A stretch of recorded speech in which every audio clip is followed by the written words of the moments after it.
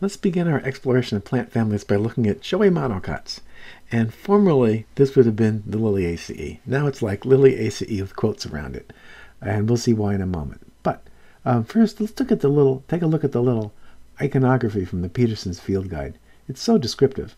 It shows a six-pointed star, which, if carefully looked at, would be um, two sets of three three sepals and three petals, but they look so much alike that you can hardly tell them apart, and sometimes they're just called tepals.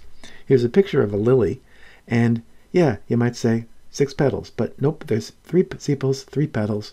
You could really look very subtly and see that the sepals are kind of outside where the petals are, but um, that's um, a little challenging to detect. The feature is that they look alike, and they're sometimes called tepals, showy flowers typically the uh, form the family in the old sense and what we're kind of lumping together because they have a lot of features in common and are easy to recognize um, are now in different plant families. So in this um, table here is a number of plant families that include genera that formerly and in our older manuals have been regarded as being in the lily family, for example, trilliums in the Trilliaceae, and, for example, um, asparagus in the Asparagaceae, and so on. But um, what's still in the lily family? Well, lily has to be, um, and trout lilies in the genus Erythronium, and a few other things. So the so we have a number of plant families that uh, we're lumping together for convenience and tradition. So let's see what they have in common. They are monocots. They have um, their flower parts are in threes, and again, this is a lily, and it's got um, three sepals and three petals that look so much alike you can barely distinguish them, and so they're sometimes called tepals. There are one, two, three, four, five, six stamens, and um, a pistil consisting of a Syncarpous gynoecium of three um, carpels typically maturing into a capsule. Here's a picture of a plant called bellwort. The flowers are descending, so I guess that's why it's called bellwort, like a bell. And I like these flowers because they look so much like leaves. The, the sense that the petals are modified leaves really comes home with this particular plant. And it's uh, in the genus Uvularia. Here's uh, a series of photos of that of that plant, showing on the left the flowers intact with the six tepals, and then in the middle, um, a flower with several of the tepals removed so that you can see uh, most of the six stamens. And then on the right, several of the stamens are removed because they were blocking the view of the pistil. And on the right, you can see the pistil with its um, three branch stigma, uh, indicative of the Syncarpous gynoecium consisting of three carpels. A very typical member of the, of the lily family and a very typical monocot. And look how the leaves are narrow and have parallel veins.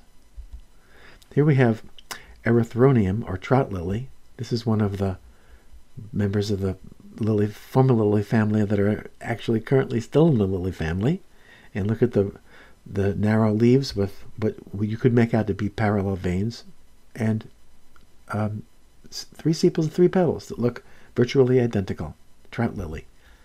Here's trout lily in fruit, or just beginning to be in fruit. This picture shows the corolla um, withered and sort of just barely hanging on while the ovary matures into the fruit.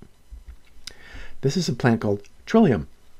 Trillium, which is no longer in the lily family, but um, close, is one of the few of these showy monocots that doesn't have uh, so-called tepals. The sepals are green and leaf-like, and the petals are expanded and colorful. So it looks a little more typical. Three sepals, three petals, six stamens, and a syncarpous gynoecium. Um, these leaves are kind of broad and look almost net-veined, but you know those characteristics are flexible. This is another picture of trout lily. Uh, this is um, this is the yellow form of excuse me the yellow species. We have two common species in Ohio, the yellow trout lily, Erythronium, um, Erythronium americanum, and a white one called Erythronium albidum. Um, daylily is the genus Hemerocallis. It's it's uh, kind of weedy. What we're trying to do when we show you representatives of these families is have some examples of ones that are um, native wildflowers and also a few examples where the family includes them, which most of the time they do, some weeds. And the daylily is something of a weed. It's it's escaped along roadsides and sometimes in in uh, prairies. Um, but what I'd like to draw your attention to is the is the Liliaceae in quotes. It's in a different family now, but the showy monocot features of having three sepals and three petals that look alike, so they can be called tepals. These have long, narrow um, leaves with parallel veins, six stamens, and it's a pretty typical showy monocot.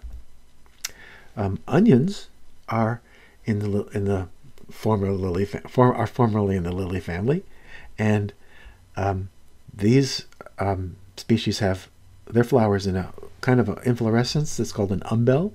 Many flowers attached at one point at the top of the flowering stalk, and the um, individual flowers, as you can see, typical showy monocot, former Liliaceae, three sepals, three petals, looking a lot alike, so you call them tepals. A nodding wild onion, Allium cernuum.